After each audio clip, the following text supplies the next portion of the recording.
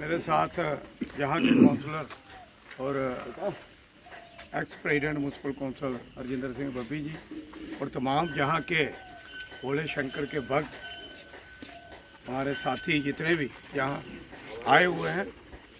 तो एक हमने म्यूनसिपल काउंसिल की तरफ़ से एक प्रोजेक्ट हमने जम्मू कश्मीर गवर्नमेंट को भेजा था। तो वो प्रोजेक्ट हमारा पचास लाख रुपए का वो सैंक्शन हुआ है।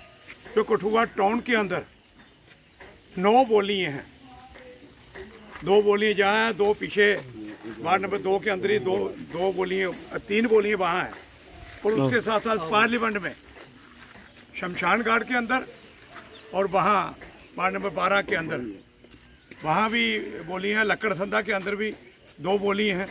इन सब के लिए हमने पचास लाख रुपया रखा था वो पैसा हमारे पास सेंक्शन है। आज ही हमारे जेई हमारे साथ आए हैं एस्टिमेट बनाने के लिए।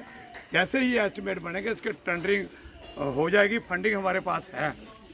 तो हमारा मकसद है कि जहाँ हज़ारों लोग जहाँ रोज जहाँ आते हैं भोले शंकर के दर्शन करते हैं जहाँ हमारे गुरु मान सिंह जी बाबा मानगिरी। बाबा मानगिरी जी। मैं भी कई बार उनके पास यहाँ आता था तो मुझे भी कई बार उन्होंने खुद भी मैसेज दे के बुलाया भी था यहाँ। तो पिछले साल ही हमने दो बेंच यहाँ दिए थे। दो बेंच इस साल हमने दिए, चार बेंच भी जहाँ लगाए हैं, ताकि जो नौजवान सैकड़ों के हिसाब से रोज यहाँ लोग सुबह नहाने के लिए आते हैं और भोले शंकर के दर्शन करते हैं मंदिर में खास करके सोन महीने के अंदर तो जहाँ बहुत रश रहता है। तो इसको मॉडर्न तरीके का बनाने के, एक तो जो वाटर बॉडी सरकार ने हमारी फैसला किया है वाटर बॉडी को बचाना है। ये बोलिए, जो जहाँ वाटर बॉडी का जो जहाँ भी सिस्टम है, जहाँ एजवाल लगी, वो लगेंगे। इसके बाद हम वहाँ जाएँगे।